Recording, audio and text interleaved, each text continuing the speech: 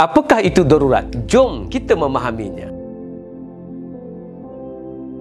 Assalamualaikum jom ke telegram saya ustazzul.id. Kini timbul polemik darurat yang hangat diperbincangkan dan menjadi kegusaran kita. Darurat bermaksud suatu keadaan berkaitan keselamatan, ekonomi dan ketenteraman awam yang tidak dapat dikawal melalui sistem pentadbiran biasa. Di musim COVID ini, sudah banyak negara mengisytiharkan darurat. Menurut Dr. Fatih Yusof, The Center for Civil and Political Rights CCPR Center menyatakan ada 79 negara telah mengisytiharkan darurat kerana COVID-19.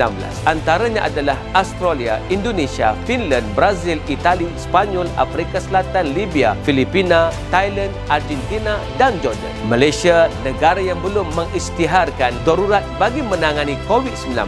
Ini menunjukkan pengisytiharan darurat kerana COVID adalah langkah biasa sebenarnya. Di Malaysia, mengikut undang-undang ada tiga sebab yang boleh digunakan oleh Yang di-Pertuan Agong untuk isytihar darurat berasaskan perkara 150 kurungan satu perlembagaan. Satu, keselamatan negara atau kedua, kehidupan ekonomi atau ketiga, ketenteraman awam. Dalam sejarah negara kita, Malaysia pernah menghadapi beberapa siri darurat. Ini antaranya, pertama, pemberontakan komunis 1948 hingga 1960. Darurat berjalan selama 12 tahun kerana Parti Komunis Malaya menghuru-harakan negara dalam tempoh itu. Pilihan raya umum pertama Tanah Melayu pada Ogos 59 dan persidangan parlimen pertama pada September 59 diadakan pada waktu darurat. Negara dan rakyat masih baik walaupun dalam keadaan darurat. Kedua, konfrontasi 1964 pada 3 September 64 Tunku Abdul Rahman mengisytiharkan darurat setelah pencerobohan tentera Indonesia terhadap negara. Ketiga, Sarawak 1966. Sarawak diletakkan dalam darurat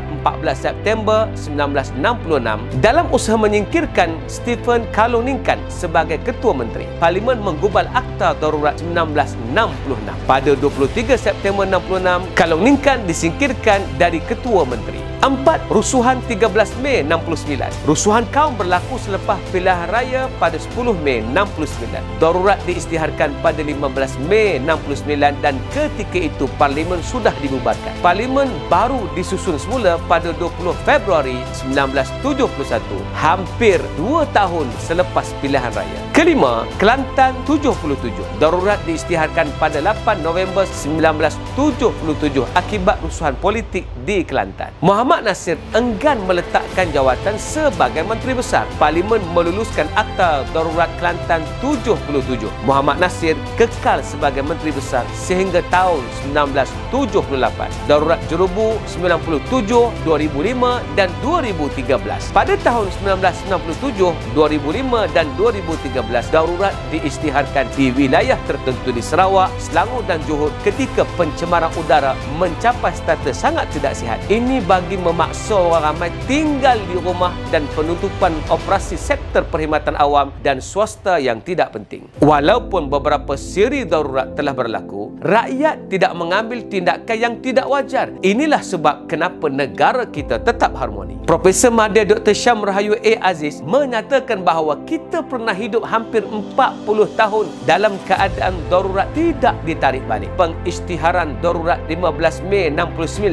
hanya ditarik balik pada 20 Disember 2011. Rakyat tidak perasan pun selama 40 tahun berada dalam darurat. Ini kerana negara terus membangun dan undang-undang dilaksanakan dengan baik. Inilah pengalaman Malaysia. Kita sebagai rakyat perlu percaya kepada kebijaksanaan yang di-Pertuan Agong dalam menangani perkara darurat ini. Jangan timbulkan kerusingan di kala ini dari pihak kita dan semua pihak. Al-fitnatu na'imatul la'anallahu man ayqazaha. Fitnah sedang tidur Allah melaknat siapa yang mengejutkannya Al-Hadis Ayuh transformasikan diri kita sebagai penjaga keamanan negara dan terus kuat demi perubahan Assalamualaikum